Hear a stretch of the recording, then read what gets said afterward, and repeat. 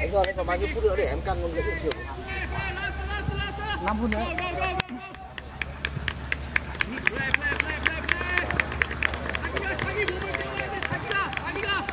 Anh cho bên anh là hai ca xin đơn 10 phút rồi. Các bạn đến muộn.